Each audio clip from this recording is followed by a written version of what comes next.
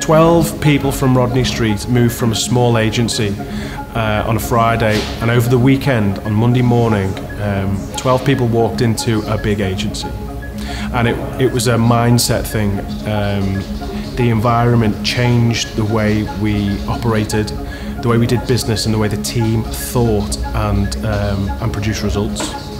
As we were approaching maximum occupancy, I think it's called. Again, we had another grown up conversation with Bruntwood, and we've since taken on a little bit more space. We know what the future looks like, and you know, that, that gives me peace of mind. The contract's with Bruntwood, the relationship is with Bruntwood, and the space is just, just what we need now. I think if I was going to give um, any business in a similar situation to me a couple of years ago, you can probably dare to dream a little bit bigger and get that more impressive larger space now because it's probably easier and uh, more cost effective than, than you think.